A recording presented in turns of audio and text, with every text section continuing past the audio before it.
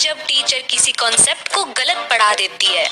Sorry uh, student शायद मैंने गलती से रॉन्ग कॉन्सेप्ट एक्सप्लेन कर दिया। I am really sorry Japan में जब कोई टीचर किसी कंसेप्ट को गलत पढ़ा देती है स्टूडेंट्स um, मुझे लगता है मैंने ये कंसेप्ट आपको शायद गलत पढ़ा दिया है।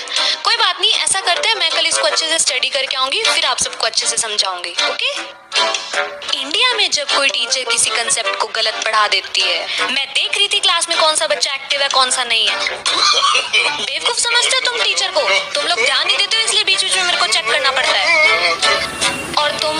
बहुत एक्टिव रहते थे क्लास में। तुम नहीं बता सकते थे मुझे कि मैंने रॉन्ग कंसेप्ट एक्सप्लेन किया